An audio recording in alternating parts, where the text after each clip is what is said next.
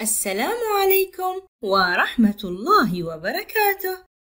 مرحبا بكم أعزائي طلاب الصف الخامس الابتدائي في مادة الفنون البصرية. درسنا اليوم في مجال الأشغال الفنية بعنوان أقنعة إفريقية بخامات الورق. المعايير والمؤشرات المستخدمة في الدرس. الأهداف.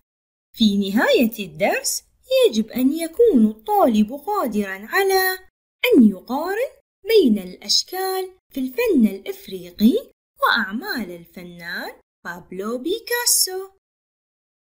أن يتذوق جمال الشكل في الفن الإفريقي. أن ينفذ قناع مستوحى من أشكال الأقنعة الإفريقية باستخدام الأوراق الملونة. مرحبا أصدقائي، كيف حالكم؟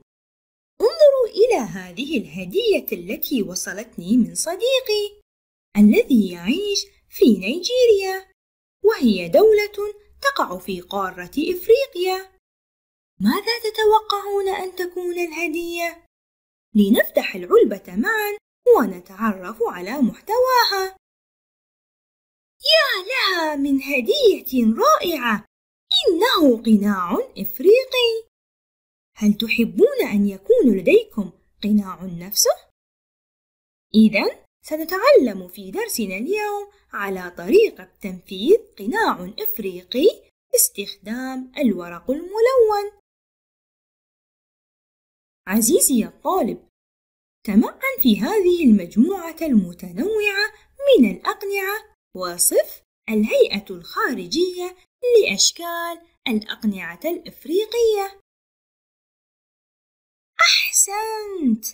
الأقنعة الإفريقية لها أشكال مختلفة وغالبا يكون لها شكل هندسي مثل المثلث البيضاوي المستطيل الدائري وغيرهم الكثير. وإذا تمعنا في ملامح الأقنعة الإفريقية سنجد أنها أيضا من الأشكال الهندسية والخطوط. ونلاحظ البروز الواضح في الفم والأنف. إن هذه الأقنعة قديمة الصنع. منذ آلاف السنين وقد قام العديد من الفنانين بتنفيذ أعمال مشابهة للأقنعة الإفريقية منهم الفنان بابلو بيكاسو. اشتهر الفنان بيكاسو بمجموعة كبيرة من الأعمال الفنية وقد مر بمراحل متعددة في حياته لها تأثير على أعماله أبرزها المرحلة التكعيبية والتي قام فيها بتجزيء العناصر الفنية إلى أشكال هندسية متداخلة.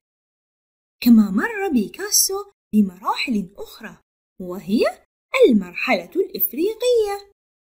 لنتعرف على أعمال بيكاسو في هذه المرحلة ونحدد أوجه الشبه بين أعماله والأقنعة الإفريقية. توضح الصورة رقم واحد شكل لغناء إفريقي والصورة رقم اثنان إحدى أعمال بيكاسو في المرحلة الإفريقية فهل يمكنك تحديد أوجه الشبه بين لوحة بيكاسو والأقنعة الإفريقية؟ أحسنت! إجابة صحيحة أوجه الشبه بين أعمال بيكاسو والأقنعة الإفريقية هي بساطة الشكل قوة الخطوط وبروز الأشكال الهندسية. إليكم المزيد من اللوحات. لاحظ التبسيط في رسم العينين وكأنها شكل بيضاوي. هل يمكنكم ملاحظة الخطوط في اللوحات؟ أحسنتم. نلاحظ قوة الخطوط ووضوحها في الرسم في كلا اللوحتين. وإذا بحثنا عن الأشكال الهندسية نجدها بكثرة أيضا في كلا اللوحتين. إذا تعرفنا في درس اليوم على الخصائص المشتركة لشكل الأقنعة الإفريقية وأعمال الفنان بابلو بيكاسو. وهي بساطة الشكل قوة الخطوط وبروز الأشكال الهندسية. والآن إليكم هذا التدريب. بعد أن تعرفنا على أشكال الأقنعة الإفريقية أعد ترتيب العناصر التالية لتكوين قناع إفريقي.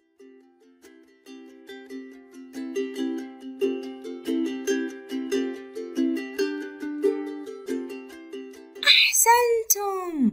استطعنا تجميع الأشكال الهندسية المبعثرة لتكوين قناع إفريقي.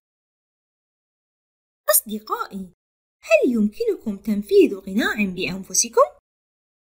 سنحتاج في هذا الدرس إلى مجموعة من الأدوات، وهي أوراق ملونة ذات ملامس متنوعة كما تعلمنا في درسنا السابق.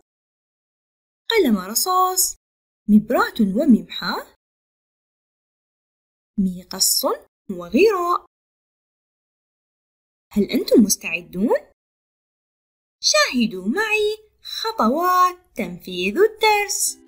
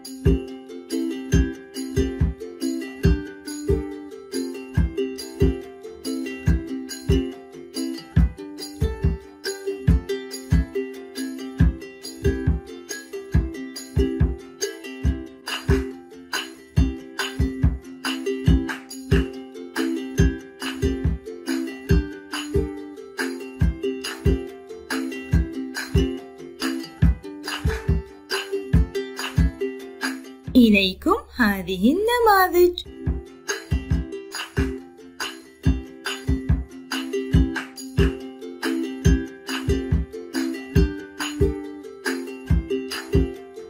حان دوركم الآن. نفذ قناع مستوحى من أشكال الأقنعة الإفريقية للفنانين باستخدام الأوراق الملونة. واحرصوا على استخدام أوراق ذات ملامس متنوعة.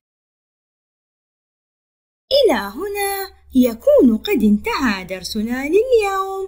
مع تمنياتنا لكم بالتوفيق والنجاح. إلى اللقاء.